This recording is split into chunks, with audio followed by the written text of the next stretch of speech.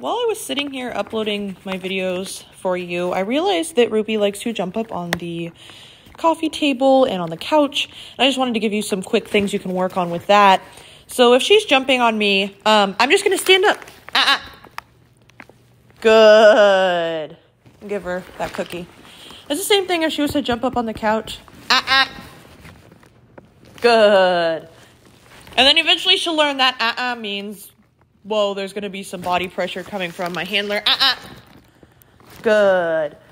And it's kind of a more positive way to correct that behavior than yelling at her. Ah,